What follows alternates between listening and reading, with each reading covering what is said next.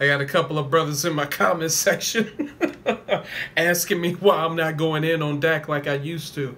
Um, listen, last season was rough for me. I lost uh, quite a bit of subscribers.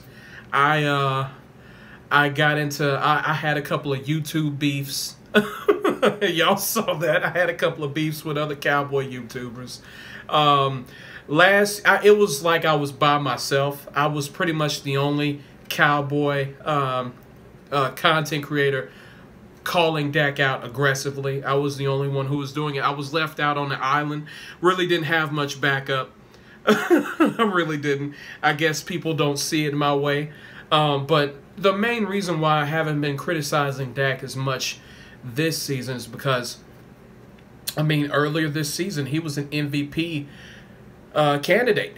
He was in the MVP discussion earlier in the season. He really was. He was playing pretty damn good. The game against uh, Tampa Bay, for him to be out for 11 months and come out and throw like that, that was fucking amazing. And the first, like, what, seven, eight games, he was looking fantastic, man. And then he just had a precipitous drop off.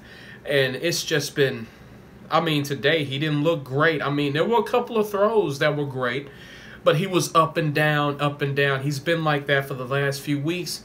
And another reason why I'm not really going after him is because of the injury. I mean, he remember guys, he's still suffering from that injury. Of course, he was out against the Vikings. He was out against Minnesota uh, because of that injury. Um, I, I think it's really fucking with him. I really do. I think it's fucking with his mechanics. I think it's really like it's really hampering his play. Um, but I, I, but I mean, I gotta call him. I mean, he he's he's healthy enough to play, so I have to, you know, I lately he just he hasn't looked that great. He's definitely not in the MVP discussion anymore. He's not. He's not in that shit anymore. Um, right now, he's looking like a middle of the road quarterback, and I think it's largely due to the to the injury, but man, at the end of the day, we only go as far as he can take us. This is a quarterback driven league. I mean, if you don't have a top quarterback, you're not going to get very far. It's only it only a few times in history where you see a Trent Dilfer or a Brad Johnson. You know, you don't see that very often. Most of the time, whoever has the best quarterback usually wins. I mean, of course, we had a ton of talent in the early 90s with the Cowboys, but Troy Aikman, he was still like, he could still hit it. Okay? When you look at those Niner te- Niners teams in the 80s, uh, Joe Montana. When you look at uh, Steve Young in the 90s, when they won that Super Bowl in 94. Um, look at the Denver Broncos, two uh, Super Bowls in the late 90s. Look at John, that was John Elway.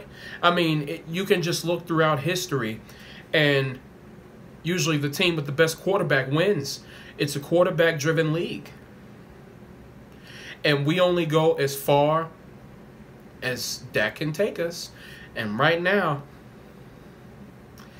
can he beat Tom Brady? I don't think so. Can he beat Aaron Rodgers?